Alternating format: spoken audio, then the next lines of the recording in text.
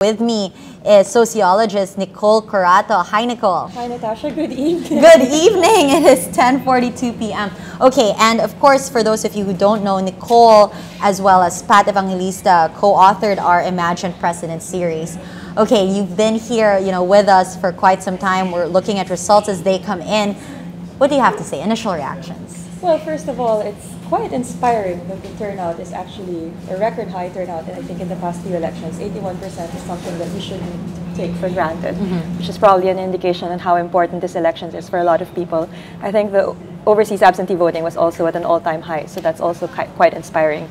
The results, however, are very interesting, I think. Can we pull that up on the screen so we can we can discuss the results so far? Yes, of course, there are no major surprises as far as the presidential race is concerned. And we can say the same thing for the vice presidential race. Um, we are expecting a very tight race between um, Senator Marcos and Congresswoman Robredo. And I think it's still hard, it's still too close to call the vice presidential race. Although I think um, for the presidential race, we see tweets about um, Senator Poe calling for a press conference at some point. So I wonder if that will be a concession speech. Yes, we're all wondering that. And now, you know, you're joining me just as Secretary Mar has occupied the the second spot. All right. Uh, and you know, in the surveys, most surveys actually, it has been uh, Senator Grace Poe consistently and the number two spot. So this this this overtaking of Mar Roxas, how do, uh, is this something that you expected? I think in the last survey they were statistically tied for second place, so this isn't really um, a major surprise. So we're now talking about uh, the gap between the front runner and the second and the third place. So Uh-huh. no surprises there, I would say. Is the gap uh, bigger than you expected? We knew he was leading, but is this uh, So you know, Duterte is now at what 30?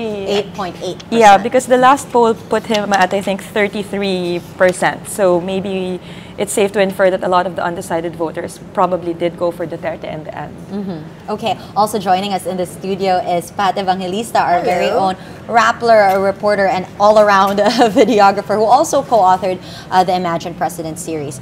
Okay, and we've all been following the results here, so it'll be interesting to kind of see after having co authored this series uh, what you think. We talked to Nicole, but what do you think of the results so far? Uh, well, it's an interesting narrative. I think, I think a lot of us have really focused on the presidential race. So, to look at the story of, of uh, the vice presidential race is actually equally interesting, because uh, uh, the, the person who might become vice president Marcos is representative of quite a bit of our history. So there are people who have said, I think it might have been uh, Leni Robredo who said it might be a case of an unrepentant Marcos sitting down. And that's something that would be concerning because this, we're talking about a long history of martial law that has run through the country. So I think the question we need to ask is, what does it say about us? Let's take that one step further. Let's now, you, you imagine an imagined precedent. Let's imagine a Duterte Marcos tandem. All right. Okay, tell me about that. You were saying, what does that say about us? Let's push that a little further. Yes, it's actually not an unexpected tandem. A lot of um, the Duterte Marcos voters have been, um, how do you say that? They've been classified as people who would actually support a dictatorial, not a dictatorial form of government, but as Duterte puts it, a dictator like kind of governance.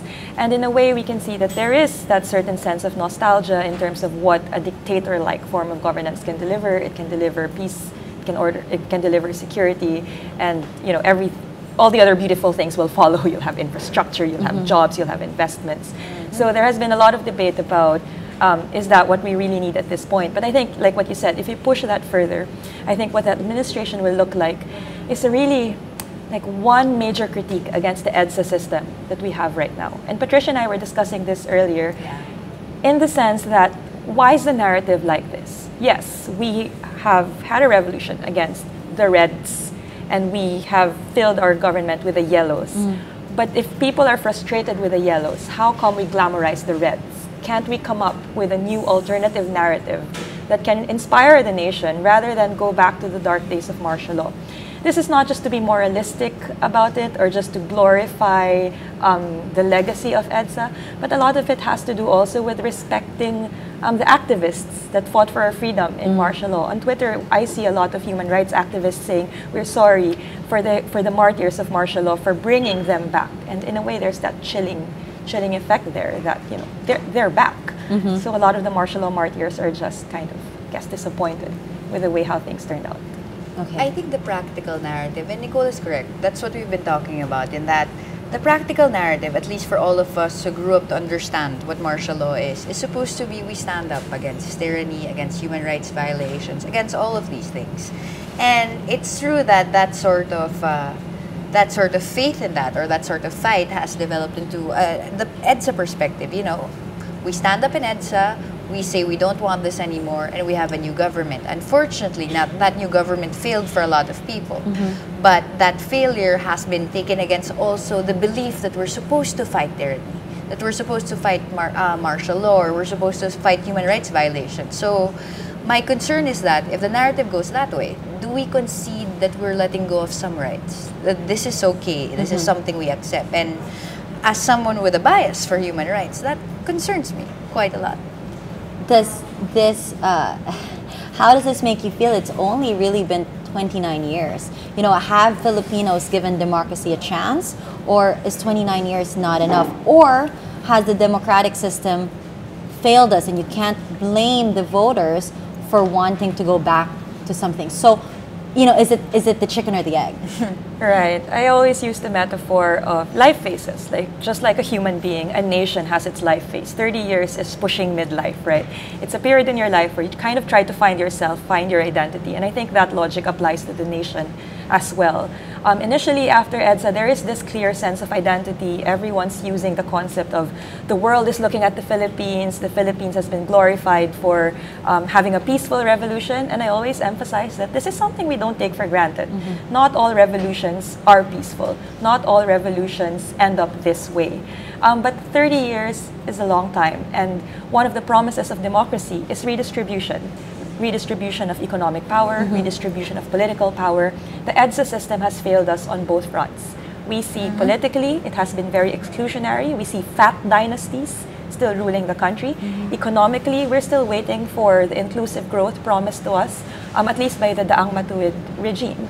So, in a way, it's hard not to be sympathetic to mm. a public Yes. that has mm-hmm. really been so um, discouraged discouraged And or frustrated. frustrated, mm. lacking the patience, mm-hmm. asking to how much longer should we wait for it, which probably explains the rise of Duterte because Duterte promises something urgent, something he can give now. It's mm-hmm. very relevant.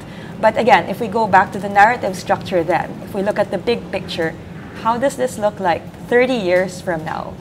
Where we are and how will it be written in our history? So I think uh, both of us are a bit, not a bit, but very skeptical about where this is going. Yeah, it's partially, it's also partially a failure of memory. It's how do you remember uh, EDSA, or not even EDSA, martial law. Uh, this is what, 29, 30 years ago. I'm 30.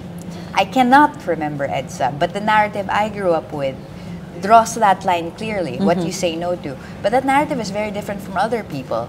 And in the beginning, when Bongbong Marcos's numbers were going up, people were saying that's the fault of the millennials, our generation, because we cannot we cannot remember what we mm-hmm. were not there for. But when we look at the surveys, it's not it's not this generation.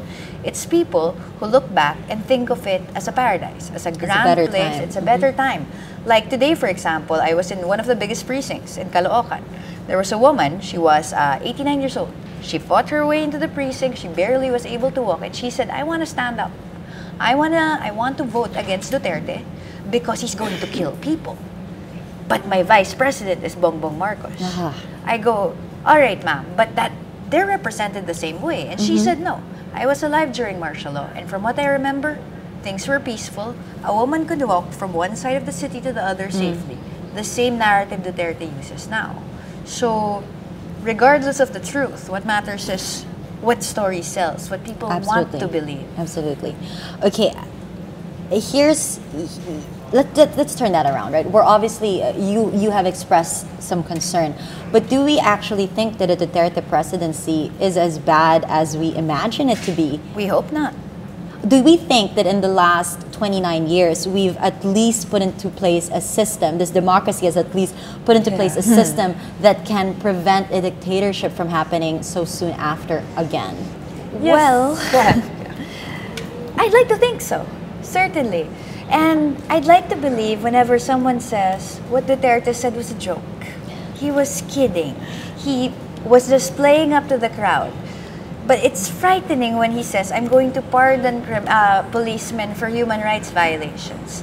I will pardon myself for mass murder. So that's the reason why we say we're concerned. We don't know what to believe from a man who seems to flip one side to the other depending on the size of the crowd. So, God, I hope we're paranoid. But of course, the flip side here is it's not just Duterte that we have to monitor here, but the kind of opposition that emerges Yes. from a Duterte presidency. Mm-hmm. I think we also have to learn from the lessons of EDSA DOS, for example. I mean, I was a participant in EDSA DOS. I thought it was the right thing to do.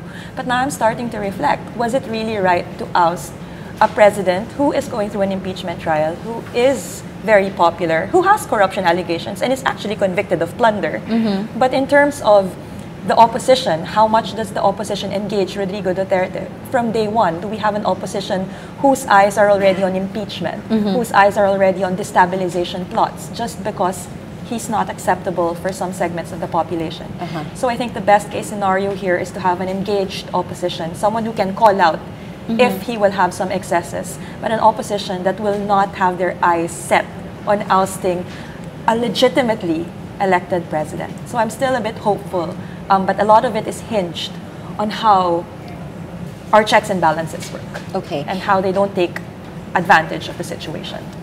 Okay, so our, our latest results is from about uh, five minutes ago. Uh, Senate, uh, uh, can we pull that up, please, just so we can check out the latest results? I can tell you though that uh, President, I say President Duterte, I'm sorry, uh, Getting Mayor Duterte is a 38.7 percent.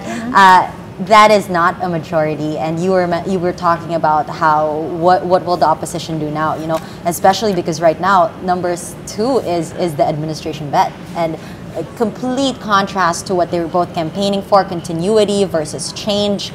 Uh, how likely will the Filipinos, you think, or even the system unite to support uh, Duterte? I hope they do. I mean, once he's elected, the, the trouble with a strong man coming in and saying, I'll save you all, is that it's an excuse to say, well, he came in. In three to six months, my life will be perfect. But you gotta back up the guy you elected. And even if you're the opposition, you still support him by opposing him and engaging and saying, and, and hounding him to death if necessary. But if Nix will say it's a the value is to the opposition, I also say the value is to the supporters. You back him up thoroughly now. You backing up. You need to back him up reasonably after. He has to have support. Okay. We saw Metro Manila uh, significantly vote not just for Duterte but for Marcos as well. Is this surprising to you considering Metro Manila has very high connectivity? Uh, you know, uh, I, I don't want just to, to, to stereotype this, but is Metro Manila's support for the Duterte Marcos tandem something that surprised you? It's not surprising to me because if I look at the satisfaction rating of President Aquino, it's lowest in NCR. The net satisfaction rating is at zero. I think that's the lowest. Okay. So in a way, if if an election is a referendum on the legacy of the Ang Matuwid, and in NCR you see here uh, uh, an area that has a very low um, satisfaction rating with the president, then I'm not surprised that they will elect candidates that really stand in stark opposition to what the president represents. So yeah, I wouldn't I wouldn't be surprised. And as someone who's had a lot of Uber rides, I'm really not surprised. Okay. I think this is a question Nix can answer better. I can tell you I was surprised, but not for any other reason that I wasn't really looking at the vice presidency. Okay. And if I did, I should have seen it coming. It's just I didn't, and now I worry more than I should. I Okay, well, let's talk about the vice presidential race because in the last hour or so, uh, Congressman, Congresswoman Leni Robredo has cut Marcos's lead from uh, 3% to now 2%. So slowly but surely, it's a very close race. so now let's imagine a different reality, uh, Right. a Duterte-Robredo tandem. How do we feel about that? uh, Patricia can create that narrative beautifully. The imagined vice president. Yes. No, I, I don't. It's so odd. and I, I, I don't know how to take it. It's interesting. In that the first time I heard of this tandem, I was I don't know where I was, but the, the ballers were coming out. Duterte Robredo. I don't know how it'll function because the diametric they're diametrically opposite in terms of principle, even in terms of how they run their cities. Because uh, um, Robredo stood up and said, "We got the same effects and the same results in Naga without having to kill people." So I don't know what that negotiation will do between them. I don't know if they even have a relationship. I can't imagine it, but it's certainly interesting. but surely you can imagine how Leni Robredo was able to beat Bongbong Marcos. That's a beautiful oh, narrative. oh, that is a fantastic narrative. in the that, sense that I think you should finish that. no, just just in the sense that we were talking about metaphors or not metaphors, but parallelisms, right? So you have this widow in yellow Oh yes, fighting story. a dictator's son. So this is very much a narrative. Yeah, we're. That's the thing with this country. We tell the, the same story again and again. We have a limit, though.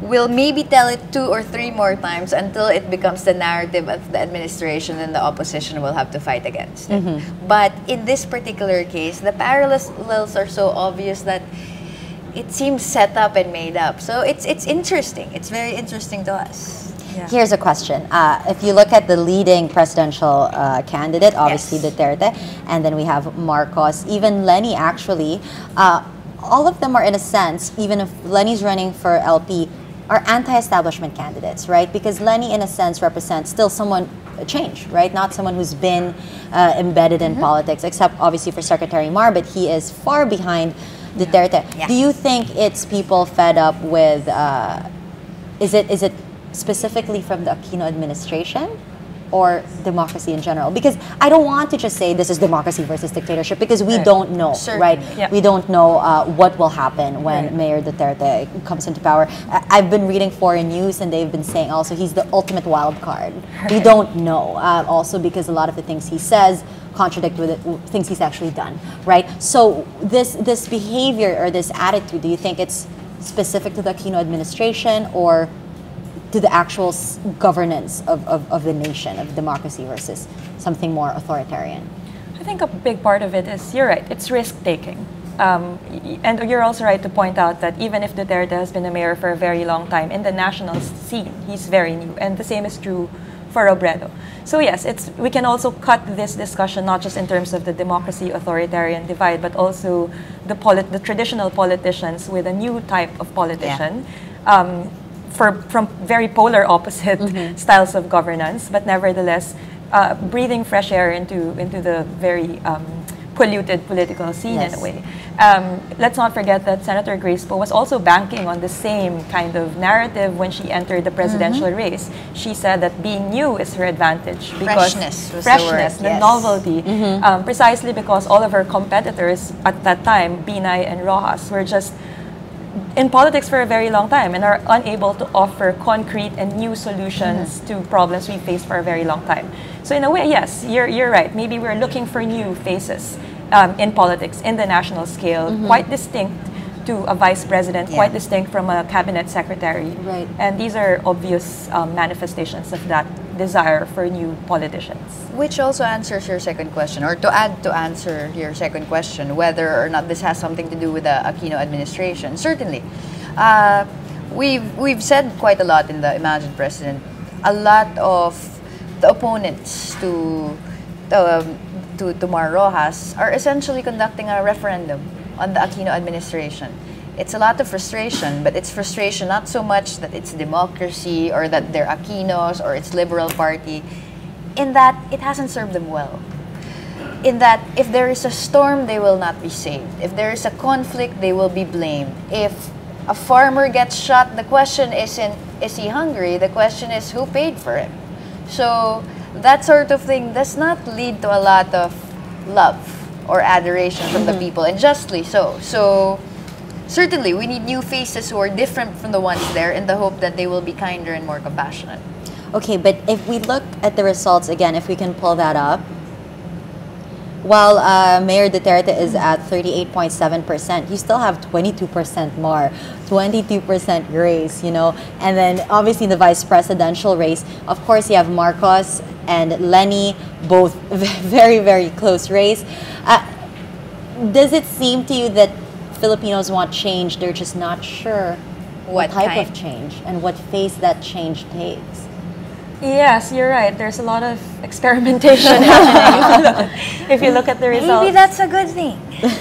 And I don't know. I mean, if I were to be a bit more irresponsible and speculative at this point, so this is not Nicole, the sociologist, but this is Nicole, the person you're having a beer with, but it's liquor ban. It's liquor ban, no beer. He's been very unhappy. but nevertheless, you remember the the Unity Alliance that uh, that Secretary Ross was trying to forge Yes. with Grace Poe. So it's not a simple case of mathematics. If you add the Ross vote, if you add No, the Poe vote, no. then you'll beat Duterte. Yes. Because let's let's remember that um, Secretary Mar Roxas was not the second choice for a lot of voters. When we read that survey, it's Senator um, Senator Poe that is the second choice for a lot of people, but also because these votes are not necessarily transferable. So even if they were able to broker Yeah. that alliance, it's still not a guarantee that they can defeat a Duterte presidency. If I were to be a bit more um, speculative about, not speculative, but kind of, um, if I were to enforce democratic norms and ethics at this point, what could have mattered more was more listening on the part of the administration. Instead of concocting all of these strategic scenarios on how we can win over the Duterte voters or how we can beat Duterte, they could have listened to the electorate more and tried to reflect on the Duterte phenomenon when he was about to rise. Let's not Yes. forget the trajectory of Duterte mm. started to, to, it was an upward trajectory beginning April, around March. And then you have an administration who will tell us, actually, Mar is gaining. Actually, he gained 2%. Right. But anyone who did elementary statistics would know this is, dude, this is margin of error. Uh-huh. Right? And he really Yes. just hovers around that 20% Right. Mm. constituency. So instead of just creating that narrative that we are catching up, we actually have a shot at this, I would have wanted more reflection and more listening. Okay. Yeah. And try to precisely understand where the frustration is coming from. Yeah, but this is also part of, of the, the Daang Matuwid narrative. They're not doing anything wrong. They have never had any failures. Any criticism is manifested as, kasi critic yung mga yun eh, ano pa ba naman sasabihin nila? So, Nicole is right. Not just for the last part of the Duterte administration, even when they were building Mar Roxas's image, instead of going uh, the fast forward in BGC or instead of carrying bags of onions, perhaps they would have tried to understand why people thought he was a whipping boy they could laugh at. Because the image was false, but they didn't un- understand the image was false. So, a lot of listening instead of just being defensive would have helped him out, I think. Okay, that's actually a really good transition to what I want to ask you next. Uh, what do you think uh, are the top lessons that uh, Duterte should take from the previous administration, considering that 74% he is at a very comfortable uh, lead of about 5 million? Uh, what, what, what lessons what lessons should he take from these elections? I think one of, I mean, I wrote this piece for Rappler. It's entitled uh, Presidency in the Age of Misery. The world has changed. We live in a world where crisis happens all the time. We live in a world where disasters happen all the time. It's nice to have a platform and a and yeah a platform for government that will ensure long-term benefits for the constituencies. It, it's good to have that long-term vision, but short-term response is very important. When there is a disaster, the first thing you need to restore is dignity of people who were victims of that disaster. It's it's crucial that the president understands, as- uh, gets a sense of urgency in responding to these problems. And I think uh, Mayor Duterte has kind of exhibited that when he talked about three to six months, when he talked about, well, killing criminals, it's kind of in, within that area Or just sending rice immediately to Kidapawan. to Kidapawan. It's that kind of leadership, I think, that's needed at this point. When you talk to voters, especially from slum communities, and they tell you they want a compassionate leader, it's because we are in a perpetual state of crisis. We are in a humanitarian mode here. So, in a sense, what the lesson that uh, the lesson that we can learn from the Aquino administration is yes, let's build on our institutions, let's invest on long-term, um, yeah, let's make long-term investments on our people through CCTs, through K to 12. But the immediate response is important because it's important to restore the dignity of, to use Leni Robredo's term, of the people in the laylayan, in the margins. So I, I, I really hope Duterte can um, follow through with his promises, um, except for the threats of killing Yeah. criminals. but just the immediate response, it's badly needed. Okay. Um, I just hope he doesn't kill people. That he doesn't have to. And I really don't think you ever have to kill anyone unless they have a gun to your head. I hope he stops saying that he will kill five criminals a week. I hope he stops being misogynistic. And the reason I hope all of this is that even if he's joking, and this is benefit of the doubt already, even if he's joking, people will pick up. People will say, My president says that. My idol says that. So whatever fuckwit shows up and says I'm a shit, I'm going to take out my gun and throw it at him or hit him mm-hmm. because that's what he's done. And he's cool. And that's the same logic that can be applied to the police, where the last six years has been about reforming the police to make sure that they stand by the rule of law and maximum tolerance.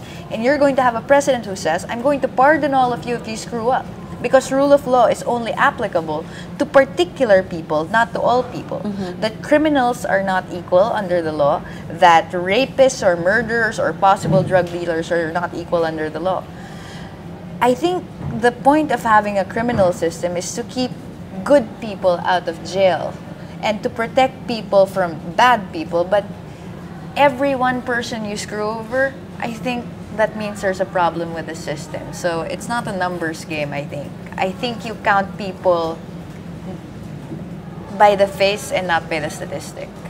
Well, you know what's interesting about Mayor Duterte though is uh, it's it's hard to tell when he's serious and he's not. right? Absolutely. Because he does make misogynistic comments, but then Davao City has some of the best uh, laws for women, right? Right. I mean, he he will he will say he's going to go jet ski to uh, Scarborough, an island, a, a disputed island, Spratlys, and put a Philippine flag there. But then on the other hand, he says, you know, I actually the foreign policy is not my strength. I will, Just you know, copy policies. right? You know, so. It's, it's it's hard to predict And it's hard what to the Duterte know. presidency will look like. Because some of it is so far fetched, you know, he has got to be kidding. But then you also don't know where he's going to draw the line or where other people will think he's serious. Like if he pisses off the United States, if he pisses off Australia, Singapore, India, and he says, I'm not good with diplomacy, but hey, please invest anyway. So we may be able to forgive him. I don't know if the world can. And I mean, this isn't all hypotheticals. There are countries in the world who's had the same experience, like the drug war in Latin America, with the rise of vigilante killings. Right. You just killed drug lords and drug dealers, and look how that ended.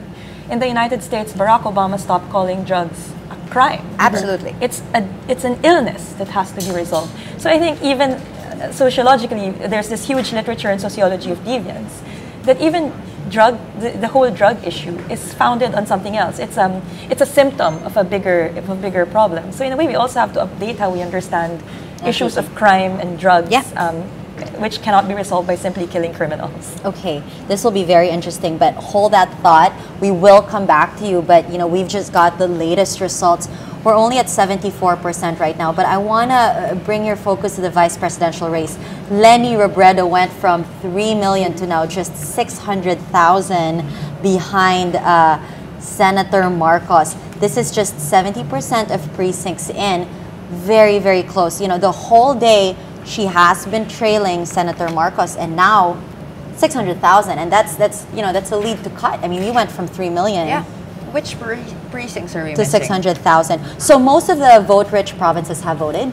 Um, Camarines Sur has voted as well as Okay. Ilocos. Uh, so right now uh, we we are looking at let's look at Yeah, let's pull up the received? transmission uh, results so we can see uh, where which results we're still waiting for.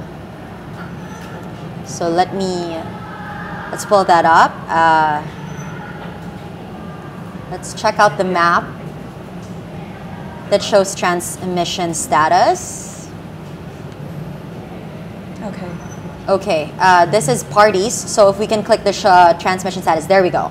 Okay, uh, here we can look at it closer here as well. Um, green is high transmission areas, so these are done. Okay. Some of the low transmission is in the north, which we would expect to be Marcos. yeah. Uh, but there are areas here in the Alright. Visayas Okay. where uh, the That's LP, is LP, yeah. traditionally stronger. So you know, we have Marcos here. We're expecting Marcos on top uh, from those areas, and then in the middle, Right. a Robredo uh, victory there. Oh, but you also have Region 8, which is a Romualdez territory, so Samar, for example.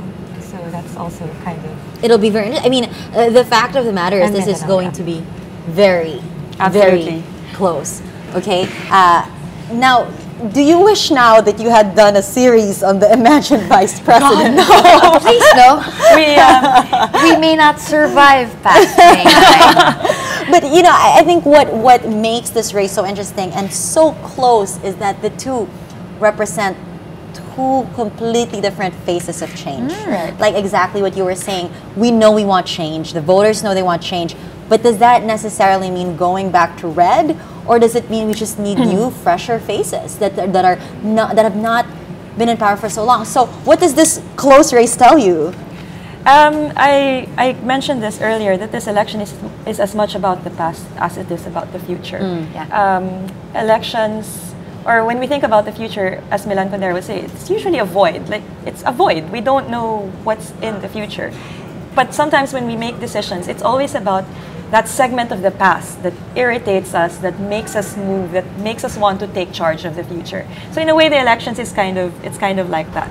Um, it's a judgment on how we want to uh, reinterpret or take hold of the past. So Or I think- how we reimagine. the or how we reimagine the past. So a Bongbong Marcos win would probably, well, revisionism is the term they often use, but I think it's a renegotiation of what the past means.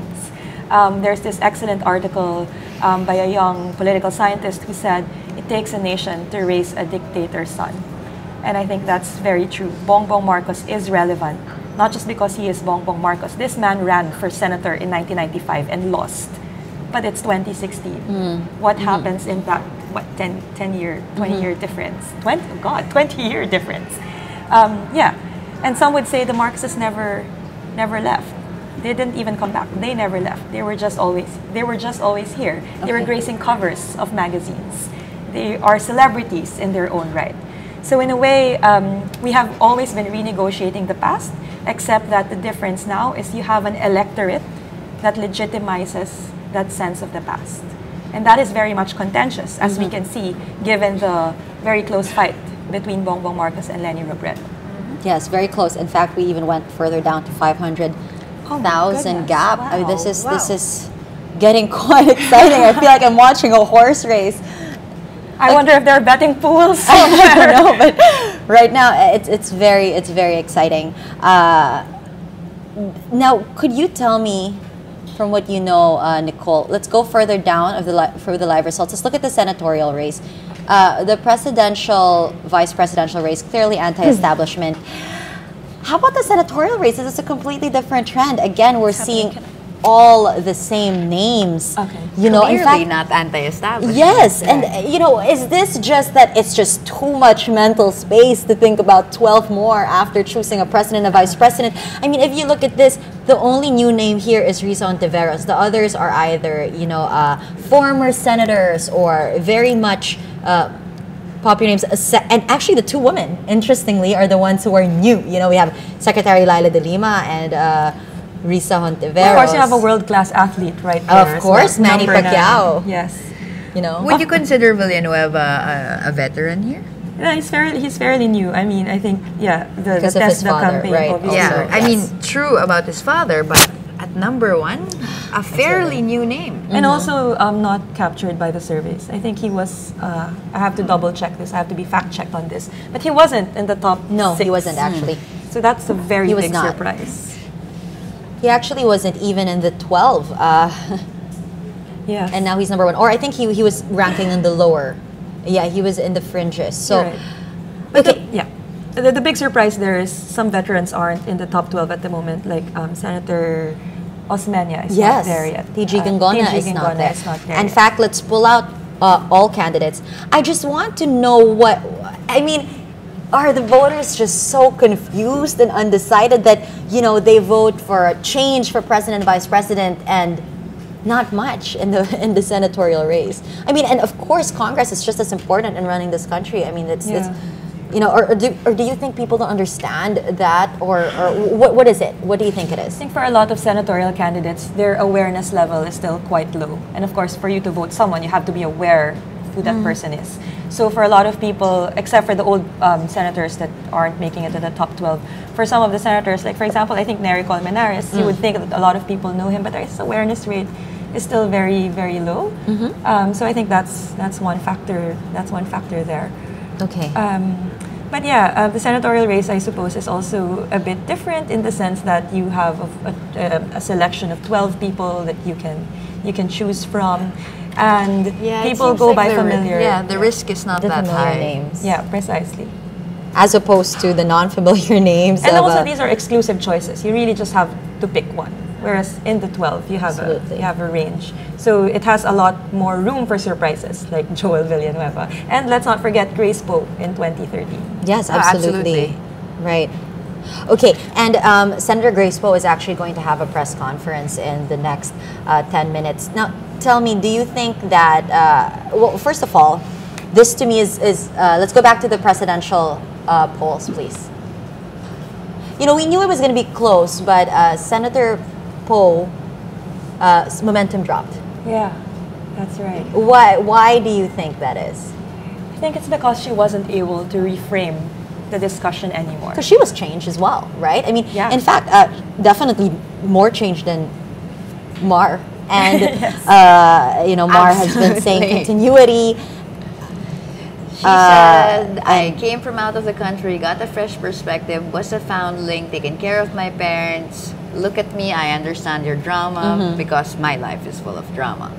So, yeah, absolutely fresh, new perspective. But then, what changed? I mean, she was on top, right? Until uh, Mayor Duterte came in in April. Yeah, because the context has changed. When she filed her candidacy, the context then was you're choosing between Mar Roxas and Jejomar Binay.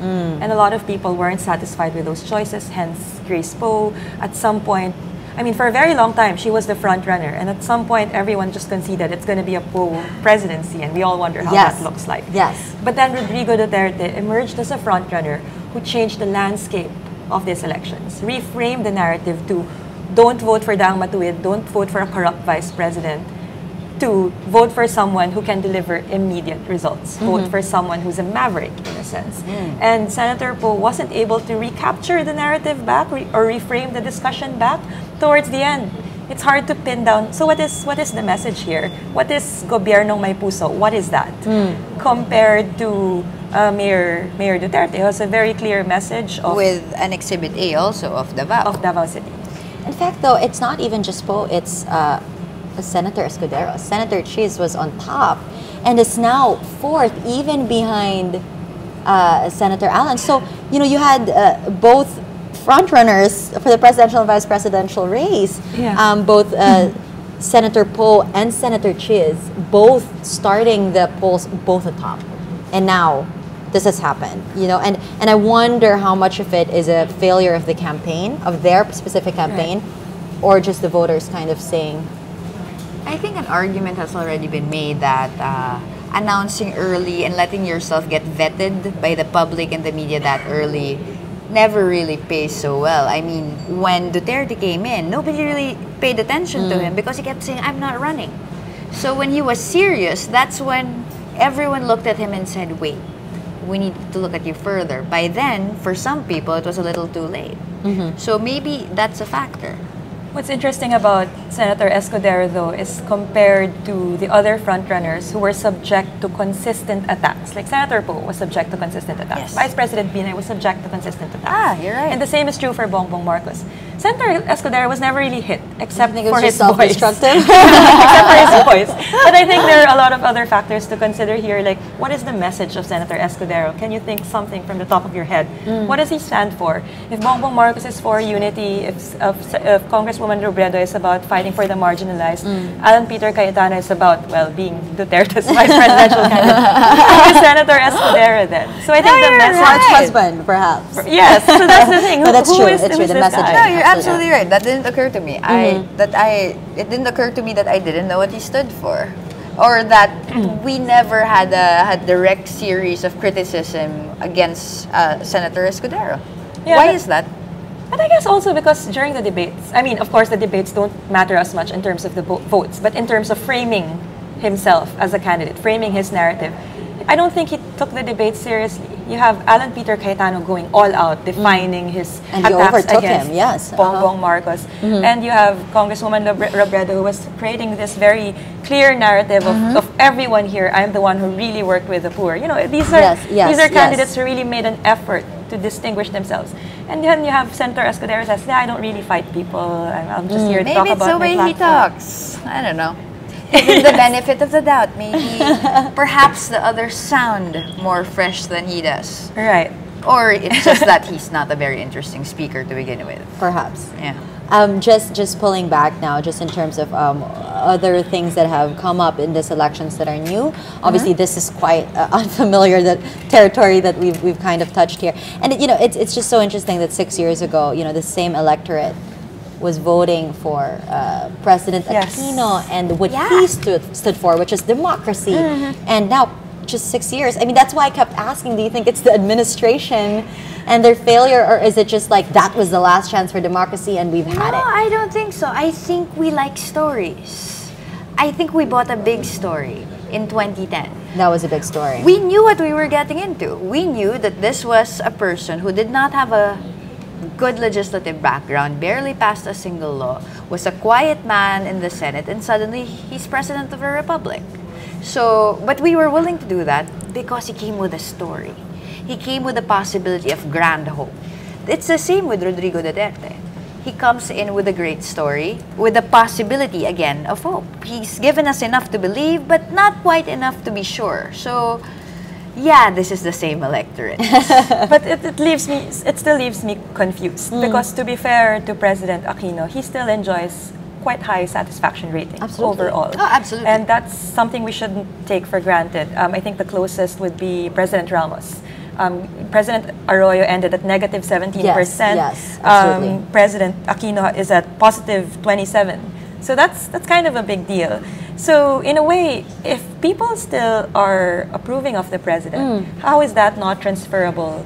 Um, not just to Mar Roxas, but the legacy of the Daang Matuwid. Absolutely.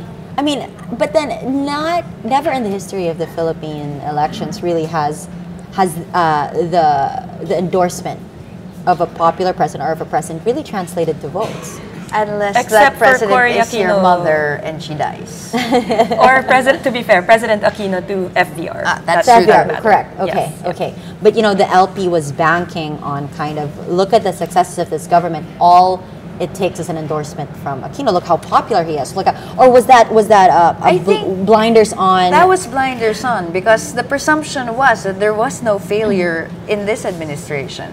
But you can see on the ground the amount of frustration was pretty legitimate. Mm. Regardless of how hard they tried on top, if it doesn't go down, it's kind of not fair to assume that hey, all it takes is an endorsement. Sure, but if you're the one who's pushing the coffin with the flag of your of, of the, the, the, the country and the president of the republic doesn't show up to your burial, you kind of see a great disconnect between how good they think they are and mm, how good mm. the people are willing to attribute it to them. okay. I think it's also the day-to-day, our day-to-day lives, basically, our encounters with government in our day-to-day lives. So every time you ride the MRT and queue for three hours, mm. that's an indication of how, how, how well or how bad the government works. If you live in Mindanao and people get killed in a violent con- in a conflict zone, that's a referendum on the government every single day. Mm. Yeah. So it's not a surprise that Rodrigo Duterte had a very strong performance in Mindanao, particularly in conflict zones and in urban centers. Mm-hmm. Because this is where we can see the failures of government every day. Of course, the narrative of the Daang Matuwid is continuity. But then it doesn't take a very critical mind to, to ask continuity of what? Mm-hmm. Of traffic? Mm-hmm. Of the mess that is the MRT?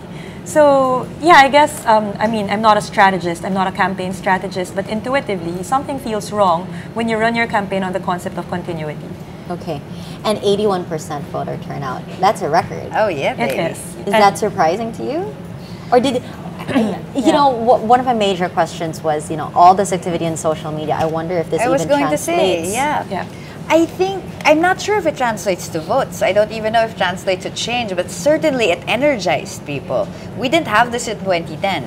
Um, now you can say there's going to be a rally here and people will move because for once they feel like they're part of this fight. They are defending Rodrigo Duterte.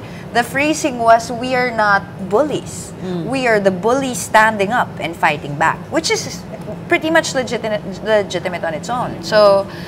I think it's people like Nix who will be able to tell you if social media just does affect the outcome of an election. But what I can tell you is that uh, on the ground, people will say, "I saw it on Facebook, so I decided to show up."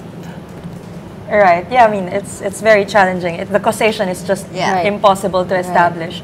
But I mean, if we look at the surveys, still the basic source of information for people is still the news and advertisements. Social media is kind of below in that in that ranking. But nevertheless, we always say that even if it's low in the ranking, it can frame conversations. Absolutely. In fact, even you know, organizing rallies may start, you know, even if you weren't online, but Right. just you know, people and the mm-hmm. dissemination and the exponential spread of that. Right, precisely. Or providing alternative sources of information. I mean, of course, it has become so um, polarizing. Yeah. Some people have been quite, well, not quite, but extremely mean on social media. But let's also look at the other side of it. You have people who write 2,000 word notes justifying why they're voting for their Absolutely, candidate. yes. That takes a lot for people who write 2,000 word things like us. I salute them absolutely. Me, it's a job. and for people to share it like 5,000 times, just, you know, why I'm voting for Mar Roxas, why I'm voting for Grace Poe, that's, that's kind of phenomenal, Yeah. right? Um, Absolutely. people writing in long form, justifying their votes. And from my perspective, you know, they always say vote secrecy is important in a liberal democracy. And here you are, people actually exposing their votes, justifying it to the Yes. public. Yeah. It takes a lot of courage to do that. Plus, you have the comment section where you're actually Absolutely. obliged to Oh, I think Natasha position. and I are familiar with the comment section. Actually, as well as you are now. Yes. I think we both. saw- I mean, not we all saw the good and the bad side of social media, Right. and having written some uh, pieces that some people Mm-hmm. from the comment section thought was a little too opinionated for journalism. Um, w- what what have you learned in terms of these elections and social media, having been in the center of it Yeah. and having been analyzed, uh, having analyzed what what what was being said online? I think my biggest takeaway is the importance to listen and reflect. Um, we always say that you know it's the age of digital communication, but communication is not just about voice. A big part of communication is listening. So if I take this reflection forward, I think especially for people like us who write on on, on Rappler, or even for people in social media in general, um, before we start making judgments about Yes. other people's position, it has to come from a position of reflection. I mean, until now, I still think about the Rodrigo Duterte piece we wrote for the imagined president. Yes. It's always good to have an iterative position about it. Were we fair? Did we engage properly? Yes. What are other people saying? And when we read comments, it's always, I mean, the, the, the carefully crafted comments. It's always good to reflect, um, reflect back on whether we missed out on something. Yeah.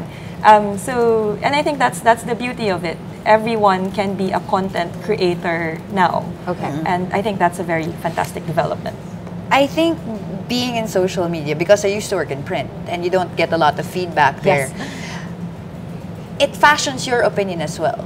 When you're structuring a piece, when you're building your case, you're thinking, but they're going to say this. So what are you going to say against it? So it rebuilds your case because it opens your mind as well. What are they thinking? Where are they coming from? Certainly, we wouldn't have been able to characterize their followers if they didn't speak out for themselves. And that was fantastic because um, there, there, there's an elitism afoot everywhere. And it's from them, it's from us, it's from everyone else. And I think the first thing to admit is okay, we have our own biases. Say it, acknowledge it, mm-hmm. and then take a stand. And I like that. I think it's grand that people are angry. That people are angry enough to stand up. And Agreed. certainly, I would like for them to stop threatening rape, mm-hmm. murder, and every four letter word that I am not allowed apparently to say here, but it's still good. that That's they keep- democracy. yeah. I think if, if we bracket those threats, Yeah. if we bracket the the noise, we have something really good here. If you have Pilipinas 2016 trending on Twitter, Absolutely. in a context where it's Jadine and Kathniel Absolutely. that trends, this is This is pretty fantastic. phenomenal. I agree. We wrote 2,400 word pieces. I can tell you, I've done this before. But people do not read it. Yes. So Yes. it's either collaborating with Nix makes people read my work more. That's not true. or writing about these things. I mean, it matters, and I'm glad it matters in a form that has really it, it's the written word is rarely exciting now online. Mm, Especially but, that long. Yeah, but Yes, now exactly. they've decided it matters. Intensity over apathy any day. No, Any yes, day, absolutely. Right? We'd rather have the trolls Absolutely. and Oh, the, right. the impassioned Facebook posts rather than not at all. Right. I Mm-hmm. Okay. think what's worth monitoring now is how this energy can be can transition yeah. to become part of assuming Rodrigo Duterte wins, but I Mm-hmm. guess it's safe to assume that um, how this energy can be transformed to participation in governance. Mm-hmm. I think that's one of the best safeguards against all of our worries about dictator-like practice. If the citizenry continues to be engaged, if they continue to provide arguments for whatever policy that um, President uh, President Duterte uh, would put forward, I think this will be even more important when we start. I, I hope it's a when rather than an if. When we talk about federalism, when we talk about the peace process in Mindanao, when we talk about the, The peace process penalty. or the death penalty or peace process with the communists, right? This will be a fantastic conversation, and I hope it carries on. I hope we can harness that energy um, in the context of governance. Particularly within the next three to six months. right, Which is it. when uh, crime will stop, according to uh, uh, frontrunner Mayor Duterte. Okay.